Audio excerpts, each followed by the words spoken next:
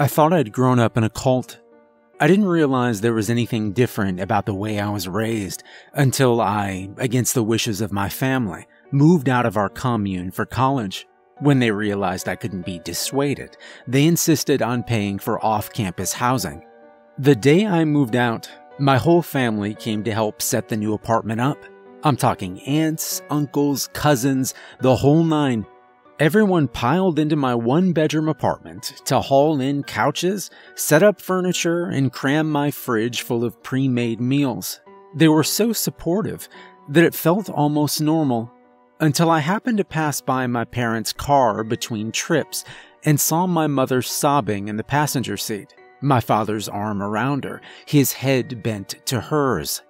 The windows were up, so I couldn't hear what they were saying, but I thought I saw my father mouth, We prepared him as best we could.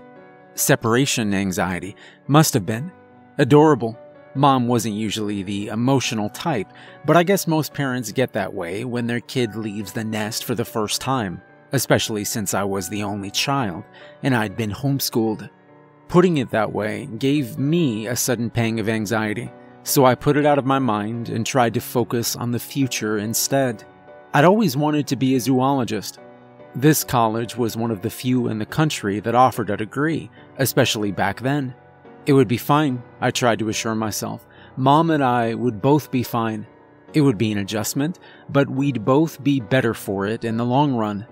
That anxiety lingered, though. It hung around in the back of my mind for the rest of the day, but only really started to settle in once all the relatives had climbed back into their cars for the long drive home. Mom had offered to spend the night, but I hadn't wanted to prolong the inevitable. At the time, I told myself it was like ripping off a band aid. Alone in an unfamiliar apartment, with the sun starting to set outside, I fell back on the old rituals of home for some comfort, going from room to room to make sure the windows and doors were all locked, lowering the blinds, shutting the curtains, turning off all the lights, and unscrewing all the light bulbs Mom and Dad had already removed the ones in the microwave and fridge for me, and I'd watched Kathy, my cousin, cover the fire alarm light with a tiny piece of duct tape earlier that day. She was a good kid, Kathy. I thought I was going to miss seeing her around every day. Once I'd ensured that there was no light anywhere in the apartment, I got changed in the dark and went to bed. The next day, I assumed my life as a normal, average kid. Orientation was a whirlwind, but I got a chance to meet some of the other kids in my very small major, and I hit it off with a few of them. A couple of them had grown up on farms themselves, so we had some stuff in common. Quite a bit of stuff, as it turned out, just not the one thing. That one all important thing. I hit it off with all three of them a girl named April and her longtime best friend, Jordan. Jordan's boyfriend, Alex, was a pretty great guy as well. We were all excited to find out we shared a couple of classes and would be seeing a lot more of each other as the semester went on, especially April and I. We kind of had an instant chemistry, spark, a spark that evolved through the following days and weeks. It was that spark that would eventually lead me to understand just how truly weird my upbringing had been. And it started with her inviting me to dinner. A casual friends only type of deal. An exception was made for Alex because he was basically a friend at this point. A couple other kids from class were over too, and I remember really looking forward to my first off commune social gathering. I remember being nervous too, though, because all my life I'd really only hung out with my family members, and I wasn't sure I could replicate that in school connection outside of class. But when I arrived, all the nervousness washed away. April greeted me at the door with a smile and told me how glad she was I'd come. I passed over the six pack I'd picked up on the way and managed not to smile too awkwardly when I parried that I was glad she'd invited me. I stepped into the warmth and noise of the gathering and was greeted by a chorus of voices. It was a good feeling, a welcome feeling. Something bubbly welled up in my chest that stayed with me until, hours later, it started getting toward sunset. Oh man, I didn't realize how late it was. I noticed the clock out of the corner of my eye and put down the Scrabble tile I'd been about to play. I uh, guess I better get going. It's not even seven. Jordan shot me the weirdest look across the table, still smiling, but acting as if I'd said something bizarre. You're not on the farm anymore, guy. Alex laughed, reaching across Jordan to grab his beer from the opposite end table. You don't have to be in bed when the sun sets. I don't? I asked, genuinely confused.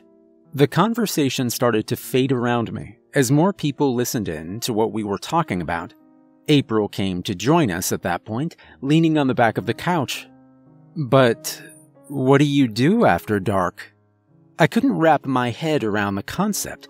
What was there to do in the dark? You wouldn't be able to see a thing. Turn on a light? Jordan suggested with a laugh, but I could tell she was even more confused by that question than the last. At this point, I'd figured out something wasn't adding up, because more than one person was looking at me, like I'd grown a second head. I hesitated to ask. I remember reaching for my drink to delay the inevitable, moistening my lips before I spoke. But, um, I was a man of science now.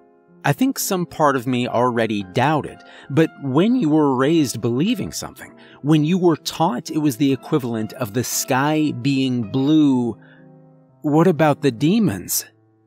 Things got really quiet then. You could have heard a pin drop. The what? April asked.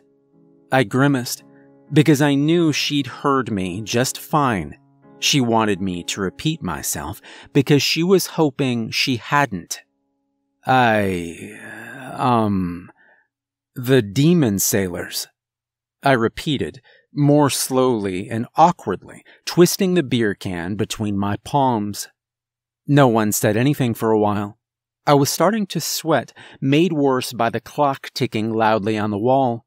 After a long while, Alex put his beer down on the table and leaned forward, squinting faintly. You, uh, you don't really believe in demons, do you? His tone made it clear what the correct answer was. I laughed nervously before April cut in. Is your family really that religious? Thankful for what felt like an olive branch, I nodded quickly and spread my hands. I guess so. I didn't realize. You know what it's like living on a farm. Jordan picked up that thread and carried it, breaking into a soft, relieved laugh. Yeah, it gets pretty isolated. My parents were really religious too. I guess I forgot you were homeschooled as well. Thank God I went to public school. I can't imagine what I'd still believe. But Alex, of all people, didn't seem quite ready to let it go. I gotta ask, man, what exactly is it you think happens if you turn a light on after sunset? Well, uh.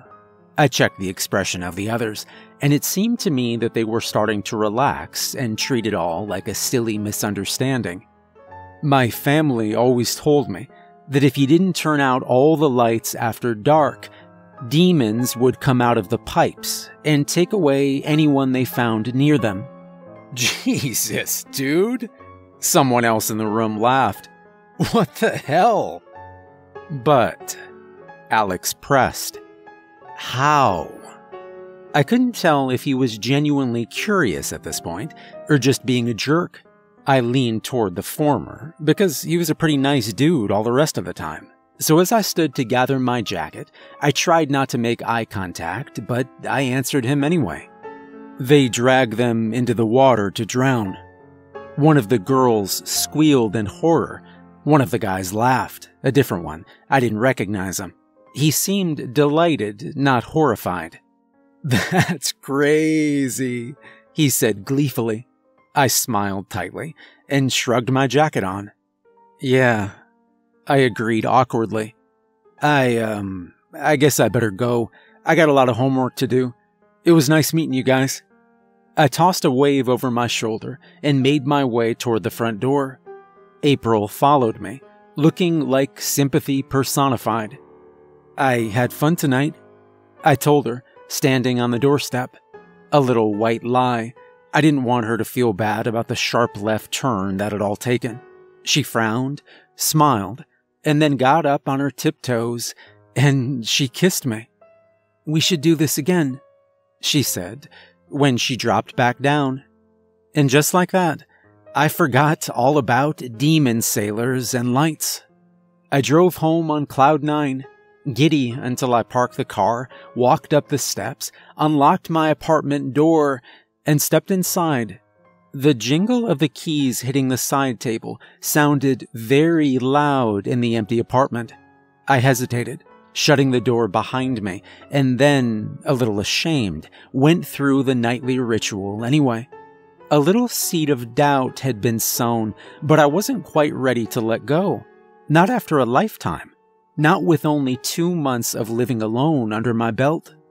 As the days passed, I began to doubt more and more, especially going to class and seeing all the people who evidently left their lights on and survived through the night. I continued to turn all mine off, but after a while it became more of a rabbit's foot than anything. A compulsive, superstitious thing I didn't really believe anymore. I even started staying out after dark.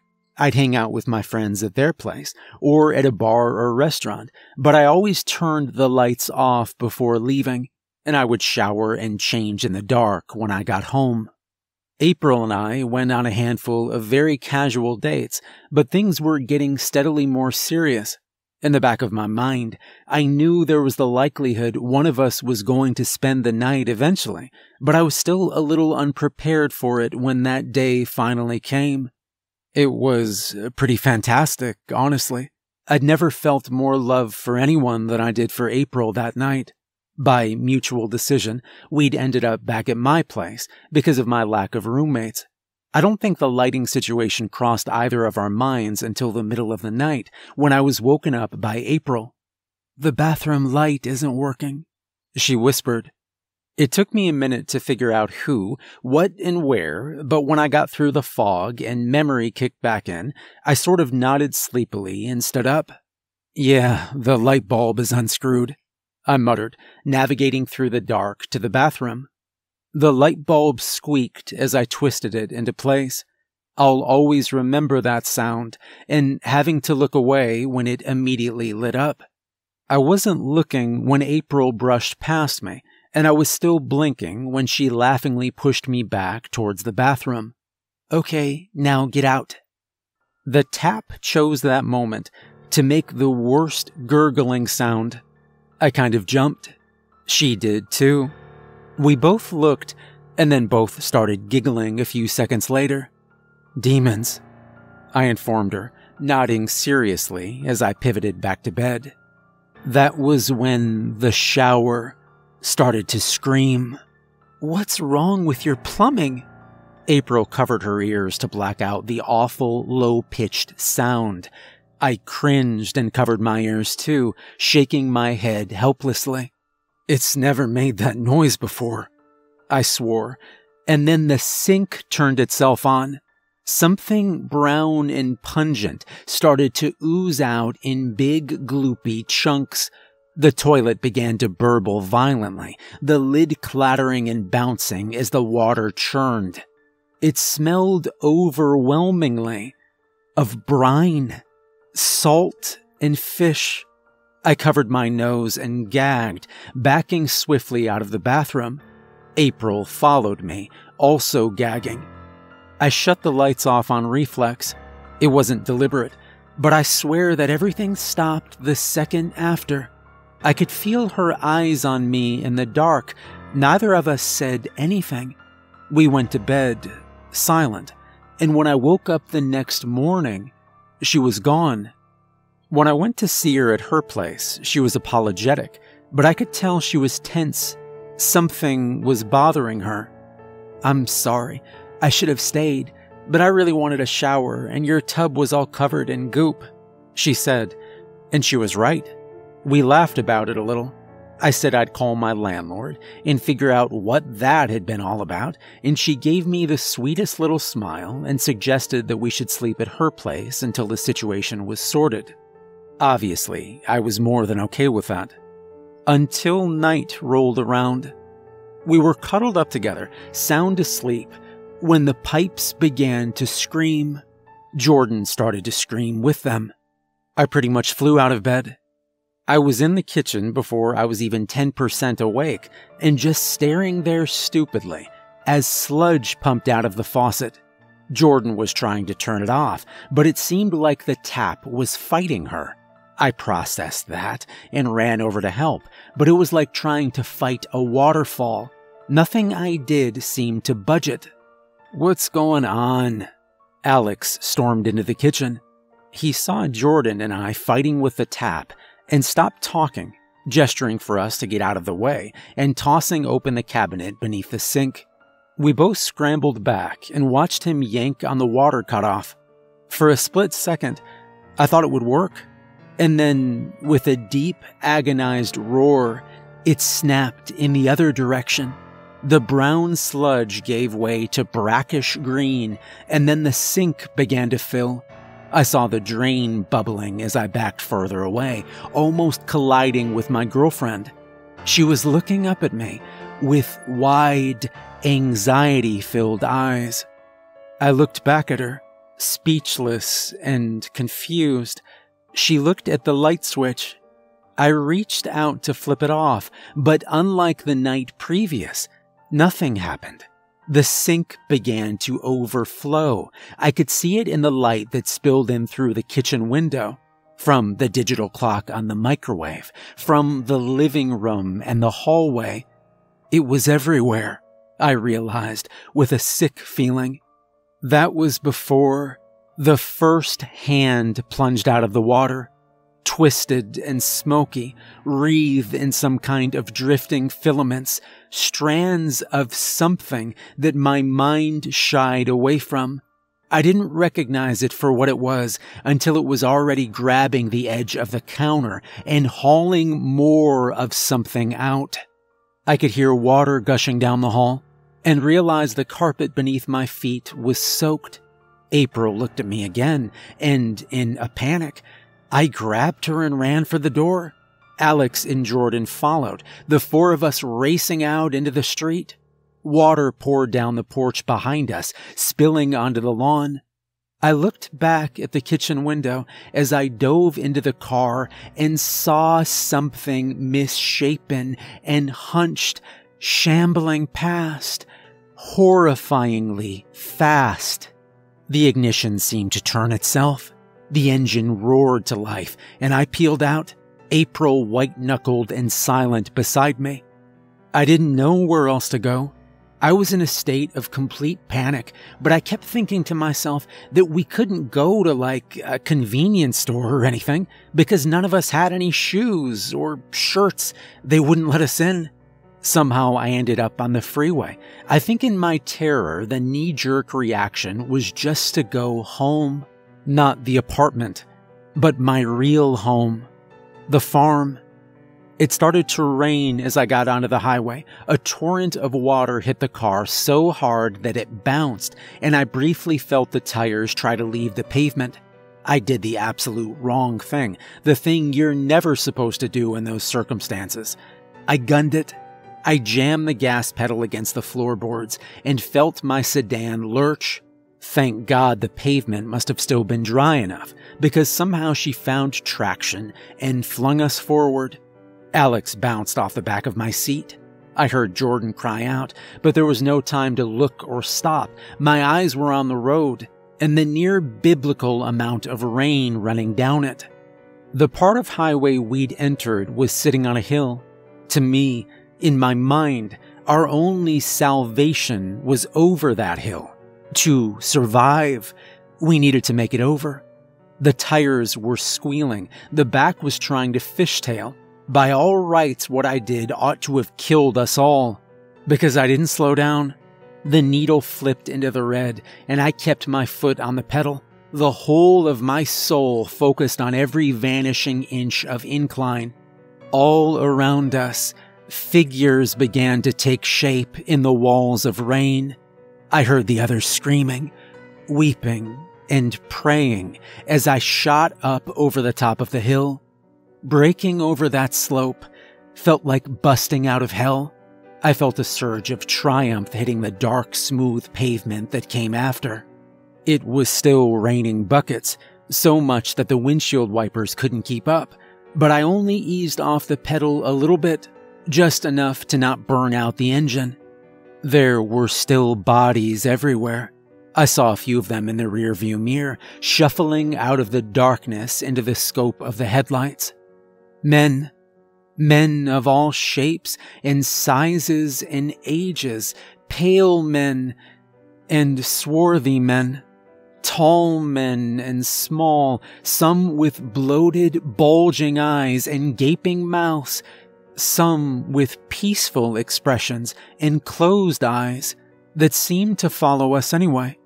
One came out of the darkness on the driver's side, despite only shuffling. He moved with superhuman speed. He almost reached us, even though I had to have been doing 80 or 90. I got a real good look at him, Time slowed down for a heartbeat. I saw every detail, from his blue vest to the second grisly mouth cut in his throat. Home was hours away, and I knew for a fact that the stretch of highway we were supposed to be entering was empty. There was nothing on the side of the town, just shrub and dead grass for miles a thick wedge of no man's land all the way up to the foothills where my family lived.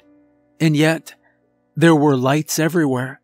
Murky, indistinct lights swimming around in the darkness where there were no houses and were no cars. A couple of times I almost doubted myself. There was so much happening. The bodies were everywhere at once. I was driving through some of them, and they exploded around the car in clouds of silt and sand that would completely cover the windshield for a few seconds. What if those actually were other cars? What if I'd left the freeway and didn't realize? Only the flashing white lines beside me and the smooth run of the pavement kept me from jerking the wheel and veering off in the direction of those distant orbs. What are you doing? I'd honestly forgotten anyone else was in the car when April spoke up. It startled me so bad that again I nearly doomed all of us by jerking the wheel too hard. Only luck saved our lives that night. I certainly played no part. Home, I said, my throat too tight to properly speak. The cult? Jordan asked. I saw April's hand dip out of the corner of my eye. The heat came on a second later, but I wasn't paying attention to that. I was counting mile markers when I saw them, always dreading that I'd somehow miss the important ones, that somehow I'd overshoot my destination. They flicked by like flashcards, and while the bodies seemed to be emerging from the dark with less frequency, I knew in the back of my mind that the gas gauge was descending. That little needle was dropping lower and lower. The demons didn't have to keep trying as hard to drive us off the road. Eventually, we'd run out of gas. All they had to do was wait. There was a can of gas in the trunk, but in order to get to it, I'd have to pull over, turn the car off, and get out. That didn't seem worth it. But there was also nothing I could do. Eventually, my worst fear came true. The engine sputtered. The pedal stopped responding. We began to lose speed, drifting to a slow, agonizing stop. My hands were clenched so tightly around the steering wheel that I could feel my knuckles popping and the sinews creaking. Alex was demanding what I was doing. Jordan, too. They were reaching over my shoulders like they could drive the car from the back seat, and I heard my parents' voices in the back of my mind. They're drawn to the lights, man made lights, like the lanterns. I hesitated, and then I killed the ignition. The car coasted a few more feet and went silent. We were plunged into absolute darkness. Jordan and Alex were losing their minds. April just looked at me from the passenger seat. I looked back at her and at the bodies walking out of the darkness around us. She took my hand. I squeezed it and we waited. They wandered in and out of the rain, searching, but it seemed after a few minutes as if they couldn't see us. I forced myself to let go of April's hand and unbuckle the belt I didn't recall engaging. The door handle clicked. I stepped out into the rain and saw a few heads lift. Quietly, as slowly as I could force myself, I walked around the back of the car and popped the trunk. The spare can sat in the back, garishly red and cheerful. It felt cold and slick in my palm. I closed the trunk. The bang of it closing nearly ended me. Several bodies rushed closer, the slap of wet footsteps coming from all around. A few feet shy, they turned in other directions, but continued to amble closer. I was shaking as I unscrewed the gas cap and poured the fuel in, losing more than a little to the ground and side of the car, praying that I got enough in, that the water wouldn't get in too. I screwed the cap in and made the choice to leave the cover open, sneaking back to the driver's side and sliding in, closing the door softly, turning the headlights off, trying the ignition. The car came back to life. So did the dash, but I'd never parked it, and as soon as the spark rolled through the engine, she was moving again. I kept my foot off the brakes, letting her ease back into it, and hoping that would keep the eyes off of us. It sort of did. Only a few heads seemed to turn in our direction. There was only the blinking of the digital clock. April jammed it off. In darkness, we rolled forward, between the wandering shapes, without the reflective pain of the road or the mile signs to guide us. I had to flip the lights on a handful of times to check where we were. Each time they rushed us and I had to slam the gas pedal. And then there it was, the mile marker I'd been looking for. Home was a plain dirt turnoff that had to be half soup at this point. I left the highway and bumped the last few miles to salvation. The storm was still rolling. I could barely see my hand in front of my face, but my parents had installed a series of brick divides on the road. I'd been taught all my life to remember the exact number. One, two, three, four, five. Stop. The last one was directly in front of the house. I killed the ignition for the last time.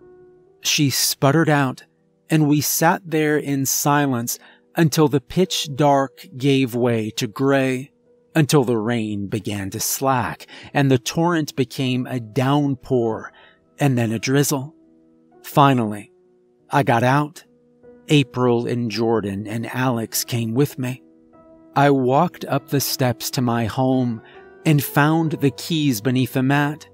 I led us all into an even deeper darkness and shut the door behind us. Home. We were finally safe. My parents came down to greet us. They must have heard the door. Dad went down to the basement, and I knew even though we wouldn't be able to see it, in a few minutes, the lighthouse would begin to flash miles and miles away. Mom brought us blankets and dry towels, and we all camped out in the living room until morning, when it finally came. The old analog clock read three in the afternoon before it was bright enough with natural sunlight to read it. The storm itself lingered for three more days before the last clouds finally dissipated. But even then, I never left. College didn't seem as worth it as it once had. I guess the others agreed, because they live here with us on the commune now. Their parents think I kidnapped them and that they're all part of the cult now. I guess maybe they're not wrong.